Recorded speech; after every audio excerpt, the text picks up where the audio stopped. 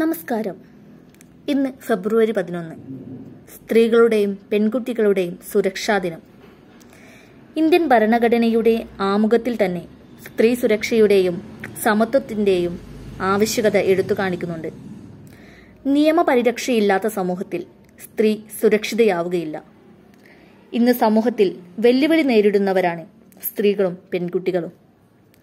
പല രീതിയിലുള്ള ചൂഷണങ്ങൾ അവർ നേരിടുന്നു. സ്ത്രീകൾ അപമാനിക്കപ്പെടേണ്ടവരല്ല ആദരിക്കപ്പെടേണ്ടവരാണ് എന്ന ബോധം ഉണർത്തുന്നതിനായിട്ടാണ്.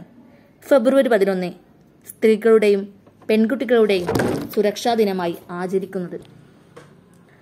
സുരക്ഷ എന്നാൽ എന്ത്? സുരക്ഷ ലഭിക്കേണ്ടത് എപ്പോൾ? സുരക്ഷ നൽകേണ്ടത് ആര്? എന്നിങ്ങനെ എന്തുമാത്രം ചോദ്യങ്ങളാണ് നമ്മുടെ മനസ്സിലേക്ക് ഉയർന്നു വരുന്നത്? യഥാർത്ഥത്തിൽ സുരക്ഷ എന്നതുകൊണ്ട് അർത്ഥമാക്കുന്നത് എന്താണ്? സ്വന്തം വ്യക്തിത്വം നഷ്ടപ്പെടുമ്പോഴാണ് സുരക്ഷിതത്വം ഇല്ലാതായെന്ന് നാം മനസ്സിലാക്കുന്നത്. നമ്മുടെ രാഷ്ട്രപിതാവായിരുന്ന മഹാത്മാഗാന്ധിജി ഒരിക്കൽ പറയുകയുണ്ടായി ഒരു ദേശത്തിന്റെ പുരോഗതി എന്നത് അത് സ്ത്രീകളിലൂടെയാണ്. അതുകൊണ്ട് തന്നെ അദ്ദേഹം സ്ത്രീകൾക്ക് ഉയർന്ന വിദ്യാഭ്യാസവും തൊഴിലവസരങ്ങളും നൽകണമെന്ന് ആവശ്യപ്പെട്ടിരുന്നു. ഭരണഘടനയിൽ ഇപ്പറഞ്ഞ എല്ലാ തുല്യതകളും അവകാശങ്ങളും നമ്മുടെ സമൂഹത്തിലെ എല്ലാ സ്ത്രീകൾക്കും തുല്യമായി ലഭിക്കുന്നുണ്ടോ എന്ന ചോദ്യമാണ് നാം ഇന്ന് നേരിടുന്നത്. മനുഷ്യനെന്ന നാണയത്തിന്റെ രണ്ടു വശങ്ങളാണ് സ്ത്രീയും പുരുഷനും. എന്നാൽ നമ്മുടെ സമൂഹം ഇവരെ നോക്കിക്കാണുന്നത് രണ്ട് കണ്ണുകളിലൂടെയാണ്. പിഞ്ചു കുഞ്ഞു മുതൽ വൃദ്ധരടങ്ങുന്ന സ്ത്രീ സമൂഹം വരെ ഇന്ന് നമ്മുടെ സമൂഹത്തിൽ സുരക്ഷിതരാണോ? ഒരിക്കലുമല്ല. അവരുടെ സുരക്ഷിതത്വം ഉറപ്പുവരുത്തേണ്ടത് നമ്മുടെ കടമയാണ്. പെൺകുട്ടികൾക്കുമുണ്ട് കാടു കയറാനും പറന്നു നടക്കാനുമുള്ള ആഗ്രഹം.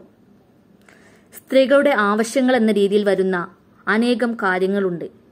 വിദ്യാഭ്യാസം ജോലി വരുമാനം ആരോഗ്യകരമായ ജീവിതം സന്തോഷം അഭിപ്രായ സ്വാതന്ത്ര്യം തുടങ്ങിയവയെല്ലാം അക്കൂട്ടത്തിൽ പെടുന്നവയാണ്. സ്ത്രീകൾക്കും പെൺകുട്ടികൾക്കും നേരെയുള്ള അക്രമങ്ങൾക്ക് അറുതിയൊന്നുമില്ല. അതിനാൽ തന്നെ മാനസികമായും ശാരീരികമായും അവർ അനുഭവിക്കുന്ന പീഡനങ്ങൾക്ക് കാലദേശ വ്യത്യാസങ്ങളൊന്നും തന്നെയില്ല എന്ന് തന്നെ പറയാം. സ്ത്രീകൾക്കും പെൺകുട്ടികൾക്കും നേരെയുള്ള അക്രമങ്ങൾ അനുദിനം വർദ്ധിച്ചു വരുന്ന അവസ്ഥയാണ് നാം ഇന്ന് കാണുന്നത്. ലിംഗഭേദമില്ലാതെ ഇന്ത്യൻ ഭരണഘടന സമത്വവും സ്വാതന്ത്ര്യവും അനുശാസിക്കുന്നുണ്ട്. പ്രധാനമന്ത്രിയായി ഇന്ദിരാഗാന്ധിയും രാഷ്ട്രപതിയായി പ്രതിഭ പട്ടേലും ഇന്ത്യയുടെ ഭരണരംഗത്ത് എത്തപ്പെട്ടിട്ടുണ്ട്. കൂടാതെ പല സ്ഥാനങ്ങളിൽ ഇന്നും പല സ്ത്രീ സാന്നിധ്യങ്ങളുണ്ട്. എന്നിട്ടും ഇപ്പോഴും പുരുഷന് താഴെ പരിഗണിക്കപ്പെടേണ്ടവളാണ് സ്ത്രീ എന്ന മനോഭാവത്തിന് വലിയ മാറ്റങ്ങളൊന്നും ഉണ്ടായിട്ടില്ല. സ്ത്രീകളുടെയും പെൺകുട്ടികളുടെയും സുരക്ഷ ഉറപ്പുവരുത്തുന്നതിനായി സ്ത്രീധന നിരോധന നിയമം ദേശീയ വനിതാ കമ്മീഷൻ നിയമം ഗാർഹിക പീഡന നിരോധന നിയമം പോക്സോ നിയമം ശൈശവ വിവാഹ നിരോധന നിയമം തുല്യ ജോലിക്ക് തുല്യവേതനം തുടങ്ങിയ പല നിയമങ്ങളും നിലവിൽ വന്നിട്ടുണ്ട്. കൂടാതെ നിരവധി സെമിനാറുകൾ ചർച്ചാ ക്ലാസുകൾ ബോധവൽക്കരണ പരിപാടികൾ തുടങ്ങിയവയെല്ലാം ദേശവ്യാപകമായി സംഘടിപ്പിക്കാറുണ്ട്. എന്നാൽ ഇതൊന്നും തന്നെ ഇവരുടെ സുരക്ഷയ്ക്ക് പര്യാപ്തമല്ല എന്നതാണ് യാഥാർത്ഥ്യം. നമുക്ക് മാറ്റം വരണം.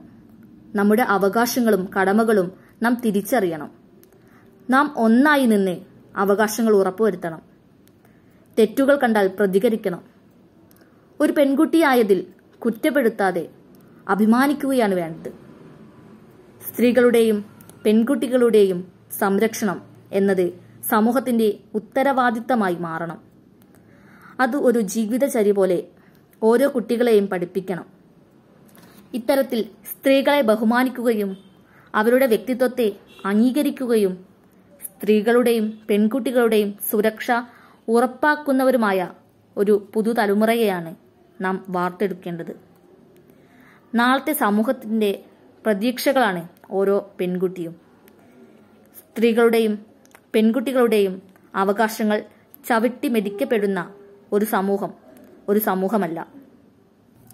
രാഷ്ട്രീയത്തിലും സമ്പദ് വ്യവസ്ഥയിലും സ്ത്രീകളുടെ പൂർണമായ പങ്കാളിത്തം ഒരു സമൂഹത്തെ വിജയ സാധ്യതയുള്ളതാക്കുന്നു സ്ത്രീകളുടെ അവകാശങ്ങൾ അവഗണിക്കപ്പെടുന്നിടത്ത് സുസ്ഥിര സമാധാനം കെട്ടിപ്പടുക്കാനാവില്ല.